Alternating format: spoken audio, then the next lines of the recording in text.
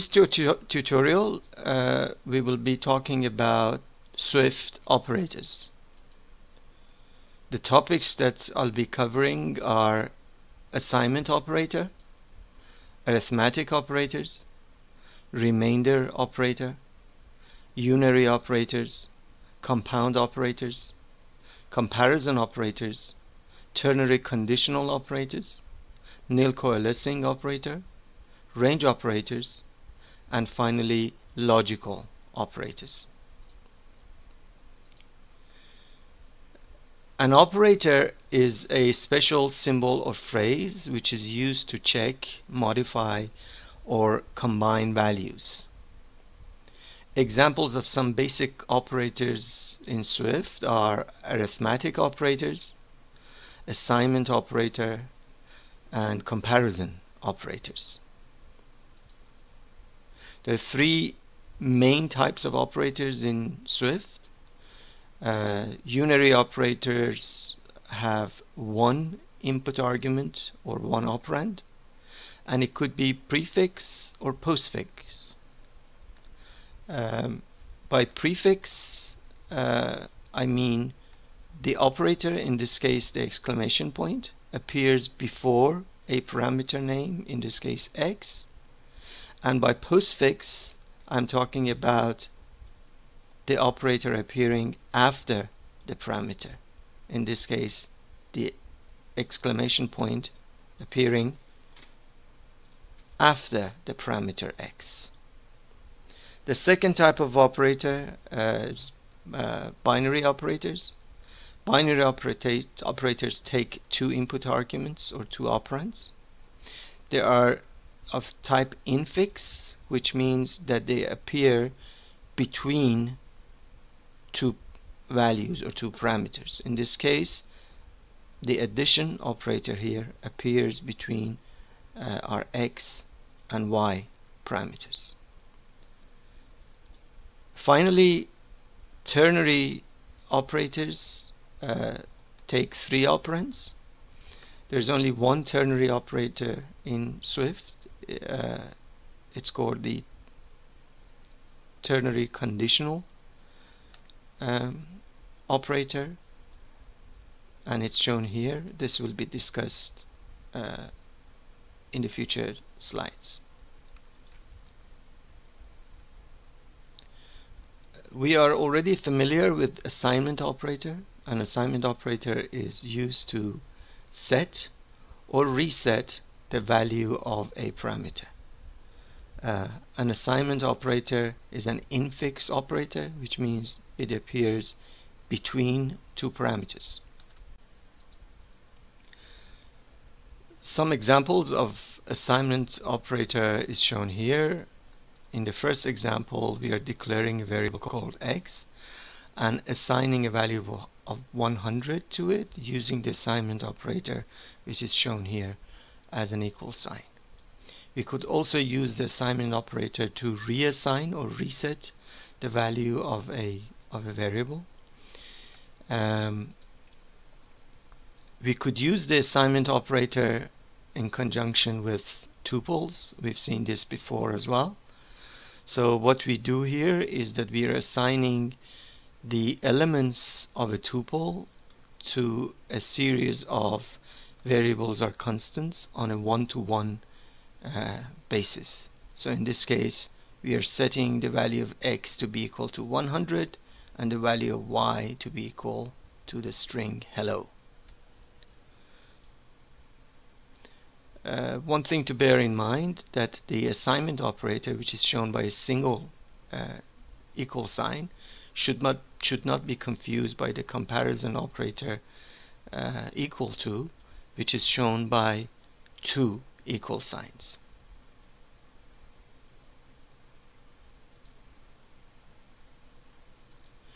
Arithmetic operators are also uh, uh, familiar to, to everyone. Addition, subtraction, multiplication, and division. They are all of type infix, so they all appear between two parameters. Examples of uh, arithmetic operators are shown here x plus y, x minus y, x multiplied by y, and x divided by y. Uh, the arithmetic operator uh, plus or addition uh, can be also applied to strings in Swift and by doing so we convert two strings into one uh, string. So in other words the addition operator uh, is used for concatenating uh, two individual strings into one string.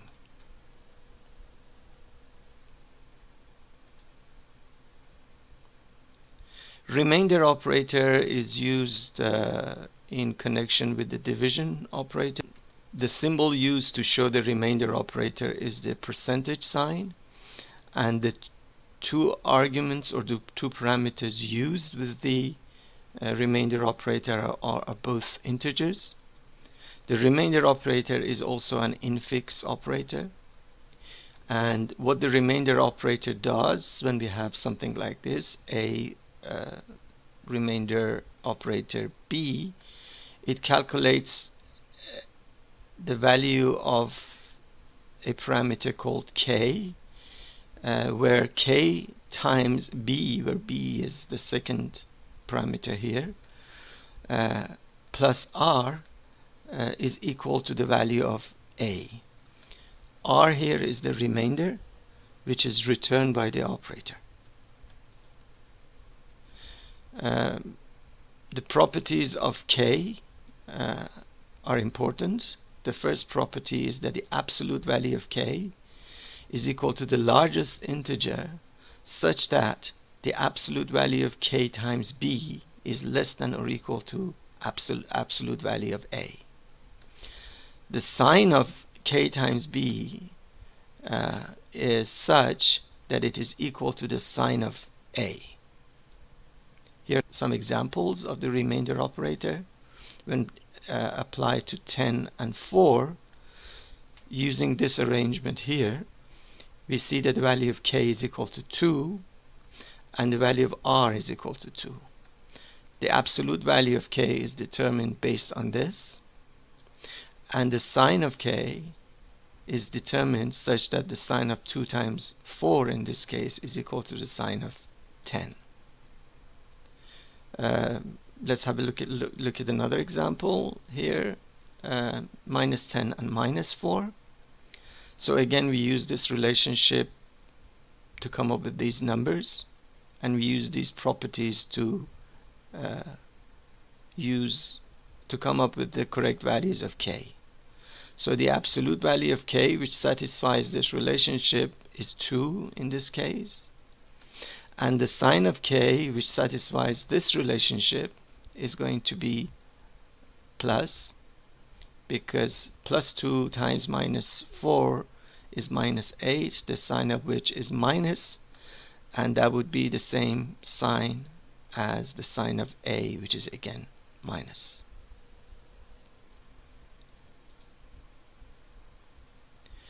uh, there are two unary operators in Swift uh, the plus operator and minus operator. The plus operator actually does nothing. Whatever parameter appears after the plus operator is returned.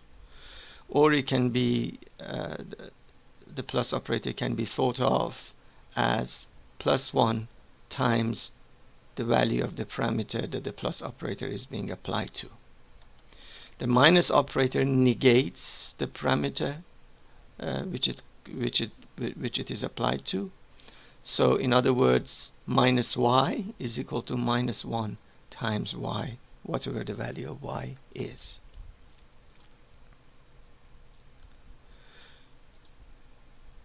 Compound operators are uh, shorthands for the combination of the assignment operator and a second operator.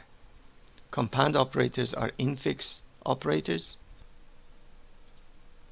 here are some examples of compound operators. For instance, A plus assignment sign B means that b is added to a and the result is reassigned to a. So instead of having uh, instead of writing a twice in this statement we drop one of the a's and move the plus sign and put it before the assignment operator resulting in uh, plus an assignment operator as shown here. Similarly, we could have uh, the compound operators for minus uh, an assignment operator, division an assignment operator, multiplication an assignment operator.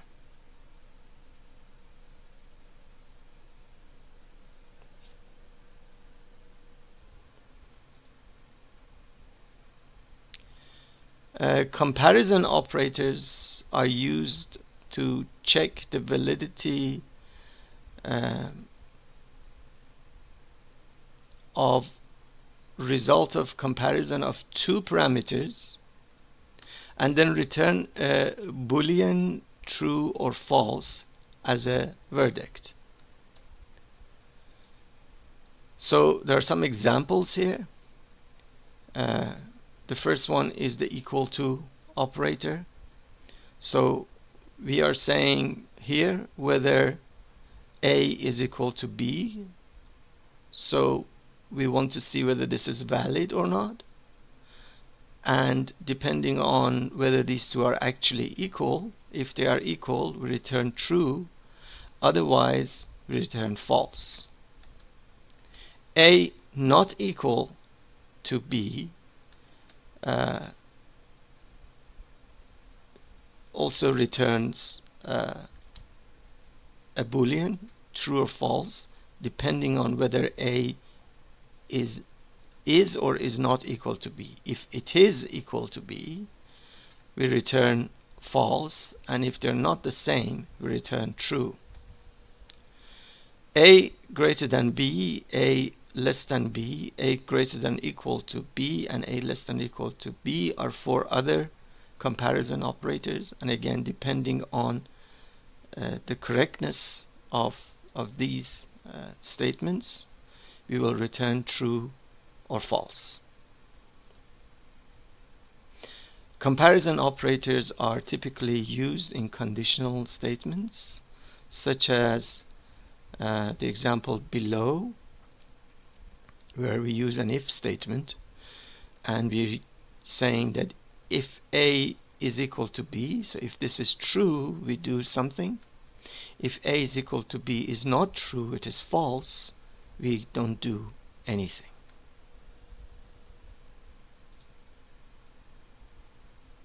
Ternary conditional operator is has a format like this. This this is the format we saw before. So as the first parameter we have a question. Um, then we follow that by the first operator which is called which is an, a question mark. Then we have one of the two answers answer 1 and answer 2 which are separated by a colon. This is effectively a shorthand for this if statement we are saying that if the question, the first parameter, is true, this operation will return answer 1 as a return value. Otherwise, it returns answer 2. Here is a simple example. We are having a constant which is set to be equal to 2, a second constant y which is set equal to 5. Then we are saying this is this is our operation here. Our question is whether x is less than or equal to y. So the answer is yes it is. So this is true. And because this is true we are returning the first answer answer 1 which is 10 in this case. So 10 is returned as a result of this operation and assigned to value as the value of z. If x less than y was false, then the second answer, which is 5 in this case would be returned and assigned to value of z. Nil coalescing um, operator in Swift is an infix operator. It is shown by two question marks. The first uh, um, parameter of this operation is an of is of an optional type and B is a default value. This will be clarified in a moment. This operation is a shorthand uh, for this ternary conditional operation. So what we're trying to do is we first check whether A, which is a, an optional, um, contains a non-nil value. If that is the case, this operation will return the unwrapped version of A. If this is this, this if this is not true, we the operation will return the value of B, which is our default value, as was mentioned here. Here's some uh, an example. We have a set of uh, variables and constants here. X is set to be equal to 2, Y is an optional, it's not set to anything, so it contains the default value of nil. Now we are having a third variable z, and using the nil coalescing operator here, we first check for whether y is containing a non-nil value, which is not the case. The value of y is nil because it has not been assigned a value. So if because this is non-nil, uh, we don't unwrap y, we go to our default and return our default as a result of this operation. And we assign it to value of z. So z, as a result of this uh, nil coalescing operation, will be equal to value of x, which is our default, and is equal to 2. Now, if we reassign uh, a value to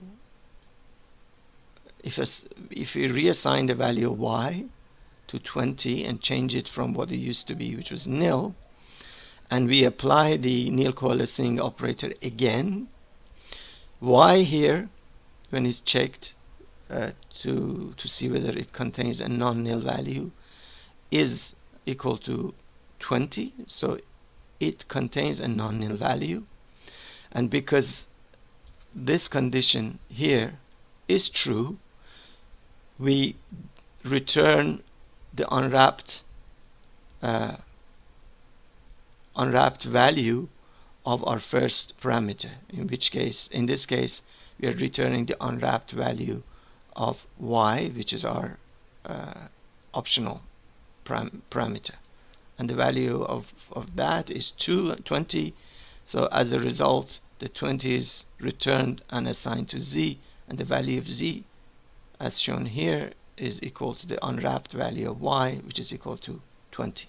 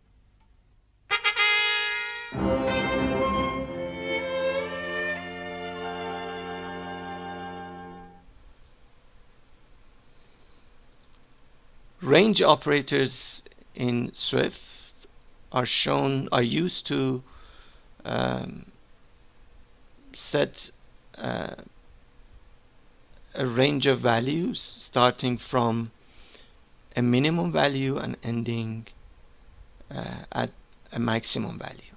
There are two types types of range operators. One is called closed range uh, operator. Um, and the symbol for which uh, is three dots as shown here. Uh, the meaning of this is that our range is equal to a, a plus 1, a plus 2, up until b. Also to be noted here that a and b are both integers and a is less than or equal to. The second type of range operator in Swift is half open range, which is shown by two dots followed by the less than sign. Again, a and b are integers and a is less than or equal to b.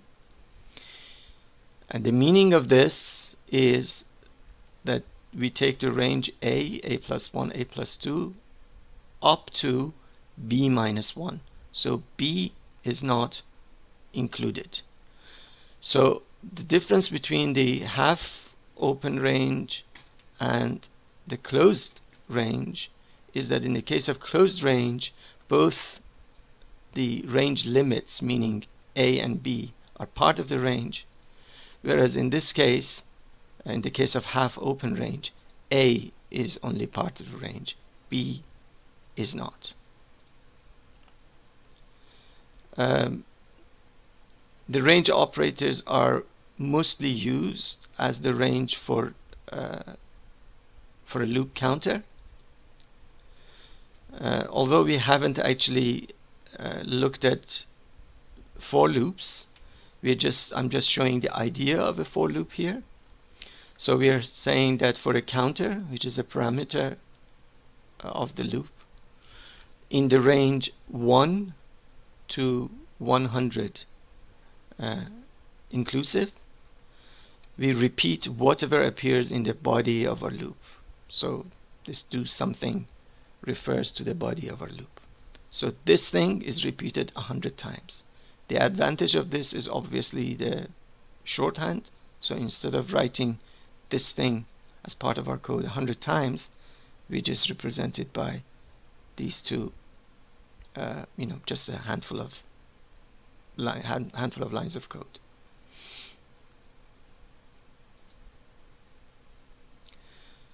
Logical operators uh, are used to modify or combine Boolean values. There are three types of logical operators in Swift, logical NOT, logical AND, and logical OR. Logical NOT is shown by symbol exclamation mark um, as it can be seen here it's of type prefix where a is a boolean value and this thing is read as not a means opposite of a. So if a is true not a means false and if a is false not a means true Logical AND is shown by double ampersands. It's again an infix. A and B, the parameters are both booleans. The return value of this thing is true if both A and B are true. Otherwise, this operation returns a value of false. Logical OR is shown by two parallel pipes or these two parallel lines. Again, an infix. And again, A and B, the parameters of this operation are both booleans. A or B uh, is false if A and B are both false. Otherwise, A or B is true. Here's an example of the uh, not logical operator. we are having a constant a which is of type boolean and its value is initialized to be equal to false then a second constant b which is set to be equal to not a and because a is false not a will be true as a result b will be true the AND logical operator uh, is shown here. We have an example uh, for, for the AND logical operator where A and B are declared and assigned the values of false and true respectively. Then a third uh, variable called C is declared and assigned a return value of A and B. Because A and B is only true if both an A and B are true the result of this is going to be false because A is false.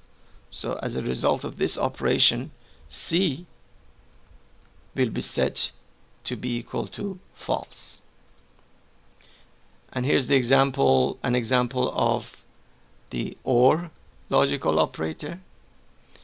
In this case we have A and B as constants and they're both true.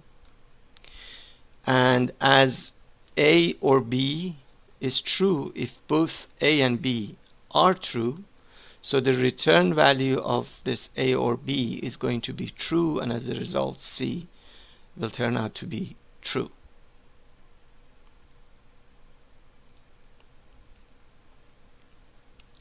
We can also combine um, logical operators.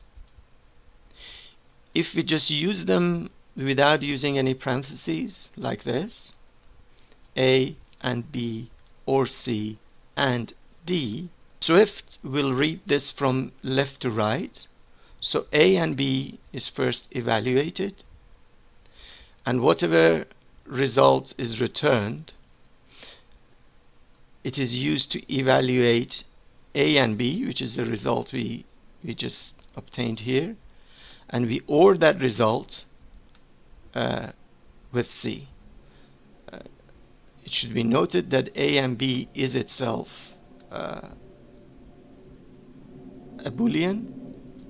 So we are ORing one boolean with another as we did before so whatever result this generates, uh, that is going to be used to evaluate um, the result that we obtained here ANDed with boolean value d.